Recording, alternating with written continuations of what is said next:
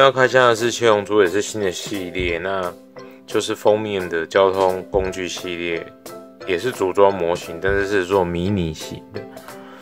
那个日本官方网站有讲说，你出出回买的这一套里面会有附一个特点给你看，因为这系列总共会出七只，那特点就是这一本。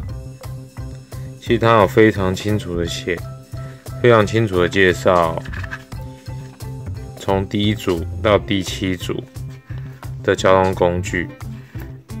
但比较特别的是，这边出现了隐藏角色第八组，意思是说你要买了七组之后，每一组都会有不同的零件。到最后，你就可以组装成一台七龙珠的这个封面的飞机，其实还蛮酷的。组装起来就是这样子。其实 David 有一点点跟我的认知有点落差，因为它的水贴实在是附的少之又少，就这边两侧的水贴跟后面。这里这个水贴，其他的地方都是没有水贴的。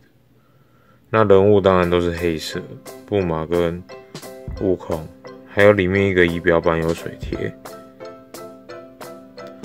所以这样子看起来，跟封面上的这种其实超彩色的，还有尾灯啊，其实有相当大的落差。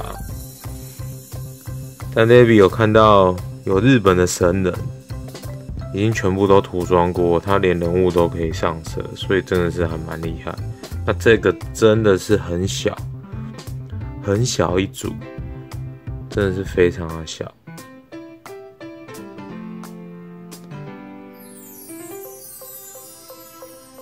然后排气管，那轮子基本上是不能动的。这就是迷你型的交通工具。第二只就是飞船，嗯，布马、乌龙跟悟空一一起在飞船上面。那这一次这一个飞船，David 就觉得还比较喜欢，因为它原本这边就有点色彩，水贴也是一样，只有两个地方，这两侧写着中文的“兽”。那其实也是超级迷你型，超小一只。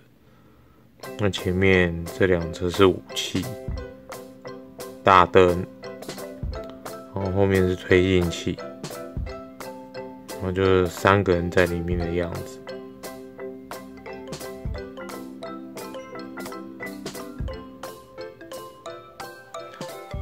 David 给这一套评价是五颗星。这种迷你系列的交通工具，那组装算是简单，但是有一些小细节也是要注意一下。例如，就悟空的金箍棒就比较难插入。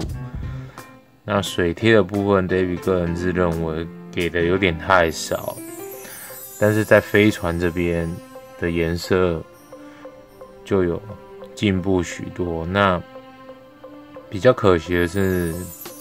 布马骑的这一台摩托车真的是白的非常彻底，而且 David 真的对涂装真的是非常的不在行，所以就打算就是这样子就 OK 了，就也不会再多加的上色，或是上一些其他的特效。